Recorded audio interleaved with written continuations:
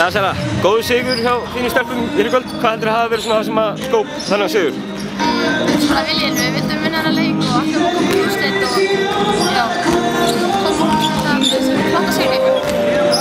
Við erum að fá framlag frá já, öllum leikmönnum allavega hvað var að stigaskólinn. Já. Er, er rotationu þetta gott hjá, hjá liðinu í dag? Já, það er alltaf svip, gott rotation, allir eru að leggja sitt á mörgum og erum undir. Nú eru þetta þínir, hvað, fyrstu smáþjóðleikar? Nei, Aðrir? Já, aðrir, já. já, já. Það er hérna uh, gullið á lögadaginn, mótið Luxemburg. Já. Hafið þið skoðað þær eitthvað? Uh, já, það eru mjög sterkar, snaggar og spila rosalega stífa vörn, þannig að við erum bröndum út á það.